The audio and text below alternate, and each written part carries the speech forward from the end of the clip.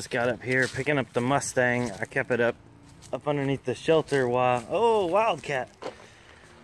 Um, while there was the snow, I didn't want to get snow all over the top, but um, gonna try to hopefully. No, no, no, no, no! Oh, get. Gonna try to get it lowered down a little bit. Um, that's the friendly neighborhood uh, shop cat, Pumpkin. Come here, Pumpkin. Come on. Let's hop out. I lowered it a little bit the other day. Gosh, he's been all over this thing.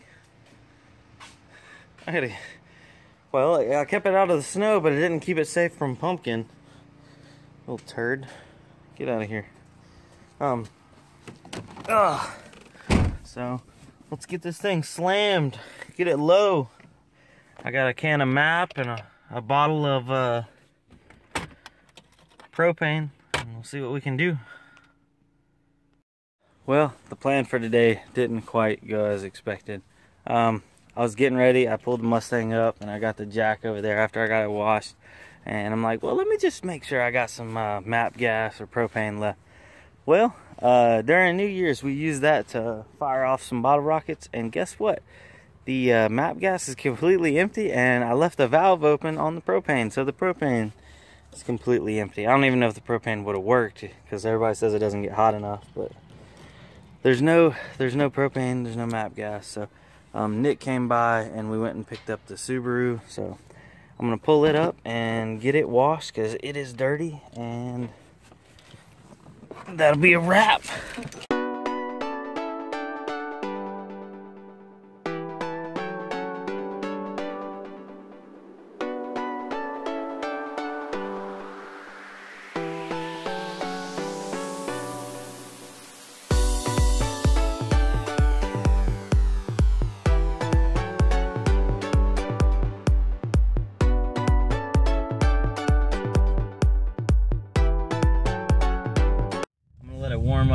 Do a couple runs down the road and data log it and then throw it in virtual dyno. All right, now the way you do a data log if you have a Cobb, I think this is access port uh, three, is you'll get into where your gauges are and when you got your gauges up, if you hit the middle button, it says not logging, if you hit the middle button, it'll go to where it's beeping right there and that's logging and then you can hit it again and stop logging and that is how you do a data log. But for virtual dyno, um, you're gonna want to be in like third gear. Um, you can actually specify it if you want to be going to fourth or not. But uh, I just do third gear, so I'm not going too high a speed or anything. I'm gonna turn around right here.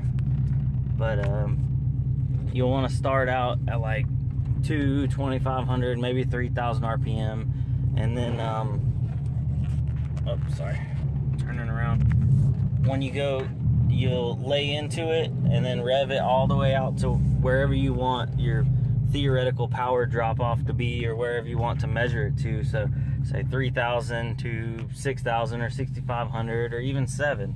Um, and then you stop logging and after you've stopped logging, then you can do a couple of them just so you can look at them when you plug it in. But you'll take the, the access port and unplug it take it inside. I'll show you how to hook it up and I'll show you how to get the um, data data log off of it and then put it into the virtual dyno software.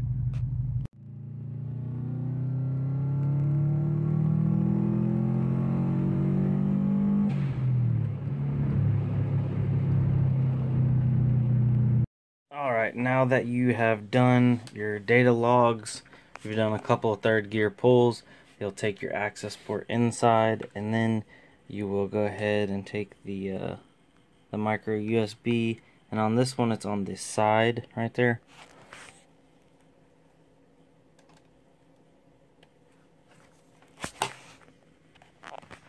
So then when you plug it in like that that'll come on access port. And I'm pretty sure this is is relatively the same for all the the access ports. And then you'll get this which is called access port manager. You load it up and then it'll give you this right here. And what we're looking for is you click on this and we're looking for data logs and we're looking for let's see here.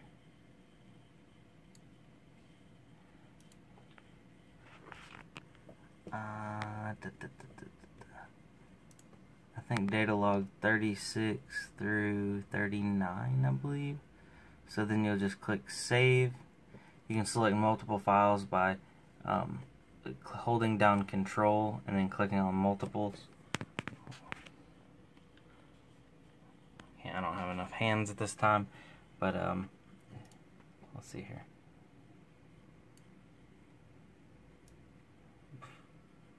Drag those right there, 36, 37, 38, and 39. The dyno runs, I believe that was when the, we were tuning the car. He just named it that so it would show up differently. But uh, let's see here. After you saved them, they'll be on your desktop. Then you need a piece of software called Virtual Dyno. You start that up and you'll get a page that looks like this. Horsepower and torque.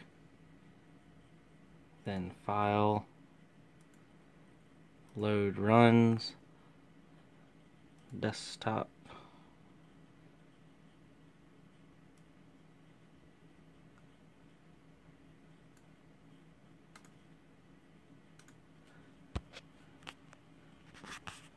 Then you have to fill out what kind of car it is. Alright, I'm to go ahead and load these in I'll be right back. Alright, we are back. I got one of my files to load in. Um, two of them, for some reason, uh, didn't didn't want to uh, load in right. Um, it just gave me an error, which that's why I did a couple runs just to make sure. Um, it's definitely not a perfect science or anything. It just gives you a good idea. Um, this is, says my car's like 271 horsepower, 248 torque.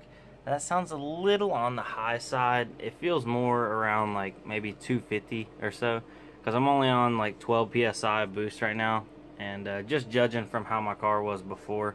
So it's uh it's definitely running good and then you can go in here and change like air temperature and all all those kind of things but uh that is how you uh, get a data log in and and figure out a rough idea how much power you're putting down sometimes it'll do it a little bit under, a little bit over, but uh, it's always it's always cool to do, cool to know. Um, you definitely want like a flat road and like no hills or nothing, and and you want to just be like real consistent with where you do your runs at, so that way you can actually compare them. But um, yeah, this is Brandon with Motor Nubs. Thank you. And just for note, my car, my Subaru is a 2002. It's a 2.0 WRX. It's got Wiseco pistons, Eagle rods, ACL bearings, um, ACL oil pump, uh, TGV deletes. It's got the No Lift name brand. They're like the composite, like look like plastic, basically are plastic. Uh, TGV deletes and it's got a CX Racing front mount intercooler and it's got the modified um, stock injectors. Little, little cat down here. It's got the modified stock injectors. They said they were flowed at 850 cc's. Um, I've gotten nowhere close. I'm like at 45, maybe 50% duty cycle, so I have a ton of uh, injector left. But uh, I don't know if I'm on 93 octane. I don't know if I'm gonna do E85. I just don't have it really close to me. eBay 20G Turbo and it's on 12 psi right now and as you can see it just made right at about 260 um, before it was making a little bit more um, before it blew up. So it feels about the same but it's on less boost so it's running a little bit more efficient I guess